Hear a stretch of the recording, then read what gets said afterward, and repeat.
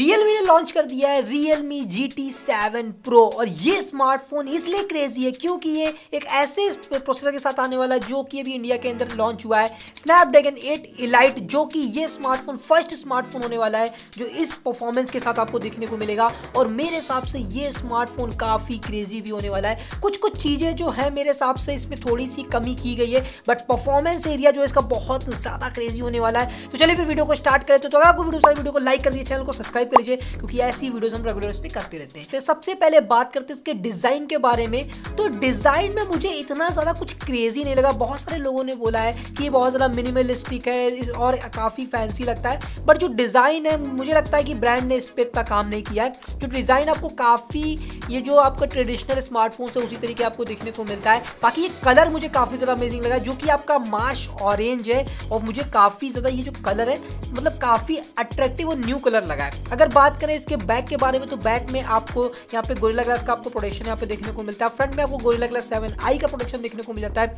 और जो पूरी बॉडी है वो आपको मेटेलिक देखने को मिलती है। बस ये एक चीज़ मैं आपको शुरुआत में बता दूँ, यहाँ पे जो इसका पोर्ट यूज़ किया गया है, वो यूएसबी 2.0 है। तो वो मुझे बिल्कुल भी पसंद नहीं आया क्योंकि इसकी प्राइसिंग पचास के ऊपर आने वाली है और पचास के ऊपर के स्मार्टफ़ोन के अंदर 2.0 मेरे हिसाब से वर्थ इट नहीं है। बाकी बात करें अगर डिस्प्ले के बारे में, इसके अंदर देखने को मिलती है 6.67 इंच की 1.5 के 80 एल डिस्प्ले जो कि 120 ट्वेंटी के रेफ्रेश के साथ आती है। साथ में आपको 6500 निट्स की आपको ब्राइटनेस देखने को मिलती है, जो कि भाई काफ़ी ज़्यादा ब्राइट है। मतलब आउटडोर कंडीशन या इंडोर कंडीशन में काफ़ी क्रेजी आपको देखने को मिलती है। और LTPO पैनल है तो जो रेफ्रेश रेट है वो वन से वन के बीच में शिफ्ट भी होता रहता है। और अगर बात करें यहाँ पे बेजल्स के बारे में, बहुत ही क्रेजी बेजल्स आपको देखने को मिलते हैं क्योंकि फ्लैगशिप स्मार्टफ़ोन है तो यहाँ पे बेजल्स जो है बहुत कम देखने को मिलेंगे। इसके स्पीकर भी बहुत तगड़े आपको यहाँ पे देखने को मिलते हैं। तो अगर आप एक कॉन्टेंट वॉन्टेंट देखने के लिए फ़ोन देख रहे हो तो ये फ़ोन काफ़ी क्रेजी होने वाला है बिकॉज़ यहाँ पे डिस्प्ले की जो ब्राइटनेस है, वो काफ़ी क्रेजी कलर्स काफ़ी मतलब अच्छे प्रोड्यूस करती है।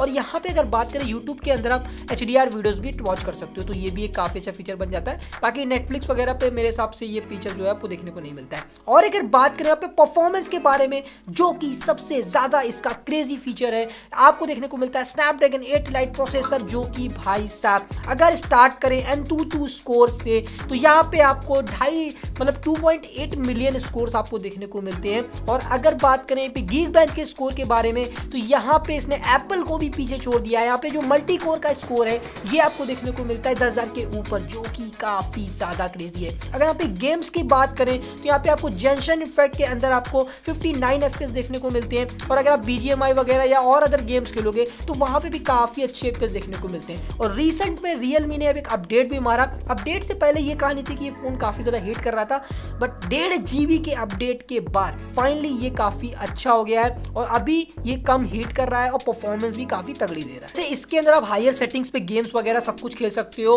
और जैसे कि आपको पता है रियलमी यू कितना ज़्यादा क्रेजी है, जो कि कलर और से टाइप है। यहाँ पे आपको एंड्रॉइड फिफ्टीन देखने को मिलता है। रियलमी यू है और स्मूथनेस चाहे स्क्रॉलिंग करते हो चाहे आप ऐप एनिमेशन की बात करते हो कस्टमाइजेशन की बात करते हो भर भर के आपको अंदर देखने को मिलता है। तो भाई, मेरे को यूआई से इतना ज़्यादा प्रॉब्लम नहीं है और और यहाँ पे जो परफॉर्मेंस है, उसका जो ट्विक है, काफ़ी अमेजिंग देखने को मिलता है। बट हाँ थोड़ा सा वॉर्मर साइड आपको देखने को मिलता है क्योंकि नया प्रोसेसर है अपडेट टू अपडेट ये धीरे धीरे सही हो जाएगा। क्योंकि रियलमी ने जब ये अपडेट दिया, उसके बाद काफ़ी इंप्रूवमेंट देखने को मिला है। तो मे भी हम लोग सोच सकते हैं कि आगे चल के फ्यूचर में और भी चीज़ें इंप्रूव हो सकती हैं। अगर बात करें इसके वेरियंट्स के बारे में, बारह दो वेरियंट आपको बेस वेरियंट देखने को मिलता है, सोलह पाँच आपको टॉप वेरियंट आपको देखने को मिलता है। अगर बात करें यहाँ पे एआई फीचर्स के बारे में, क्योंकि भाई सबको आजकल आई एआई के बारे में बात करना है तो इसके अंदर एआई फीचर्स की बात कर ले। यहाँ पे आपको एआई ब्लर देखने को मिल जाता है तो जैसे कोई फ़ोटो है और आपको उसको ब्लर करना है। जस्ट एक टैप में आपको ए आई ब्लर देखने को मिल जाएगा। दूसरा आपको स्केच टू इमेज देखने को मिल जाता है तो अपनी कोई भी इमेज है, उस पर आप कुछ भी ड्रॉ करोगे तो वो एनिमेट करके उसको एक रियल इमेज में कन्वर्ट कर देता है और भी कुछ सारे फीचर्स आपको एआई के अंदर देखने को मिल जाते हैं। अब बात करते हैं कैमरेज के बारे में। पहले मतलब बात कर लेते हैं इसके पूरे सेटअप के बारे में। यहाँ पे आपको डबल सेटअप देखने को मिलता है 50 प्लस 50 मेगापिक्सल के दो सेंसर आपको देखने को मिलते हैं प्लस 8 मेगापिक्सल का आपको अल्ट्रा वाइड भी देखने को मिलता है। अब ये आठ मेगा का अल्ट्रा वाइड ना मैं आपको आगे बताऊँगा क्या दिक्कत हो रहा है इसकी वजह से। बाकी तीनों सेंसर जो है वो आपको यहाँ पे सोनी के देखने को मिलते हैं। फ्रंट में आपको सोलह मेगा देखने को मिलता है। और मेन कैमरा जो है फिफ्टी मेगा का, वो आई एम एक्स आपको देखने को मिलता है। और सारे सेंसर सोनी के हैं। बाकी अगर बात करें परफॉर्मेंस के बारे में या आप कैमरा कैपेबिलिटीज के बारे में, बहुत सारे फीचर्स आपको देखने को मिलते हैं। जैसे कि आप जूम कर सकते हो, क्योंकि पेरिस्कोप लेंस आपको देखने को मिलता है थ्री का। जहाँ पे आप अगर जूमिंग कैपेबिलिटीज की बात करें वन तक आप जूम कर सकते हो। और AI के साथ कोलैब करके जब भी आप फ़ोटोज़ क्लिक करोगे तो जो ओवर दी प्रोसेसिंग जो फ़ोटो आपको देखने को मिलेगी, वो काफ़ी ज़्यादा शार्प आप देखने को मिलती है। मेरे हिसाब से काफ़ी अच्छी भी है।